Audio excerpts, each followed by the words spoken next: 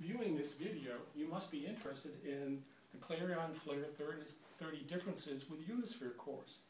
If you are, let me tell you about the class.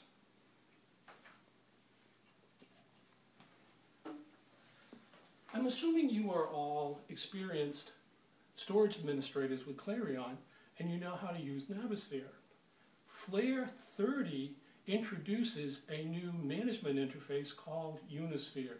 You know what, team?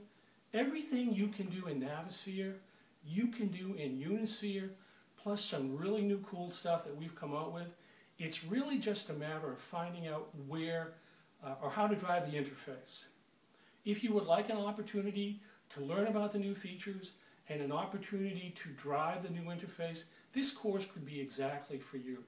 In addition to the Unisphere interface, some other new features that we have or that have come along with Flare 30 include FAST, which is fully automated storage tiering, V2, right? Fast Cache, which will allow you to use, if you have the architecture, will allow you to use some of your enterprise flash drives as an extension of the storage processor cache.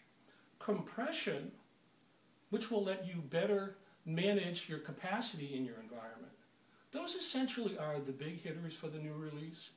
But also, we have added additional features like uh, rebuild avoidance in the case of component failure on the back end, um, clone time of fracture.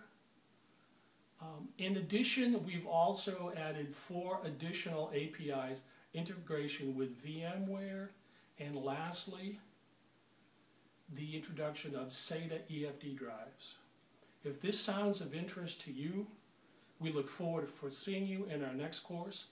I am Paul Taylor, and we are EMC, where information lives.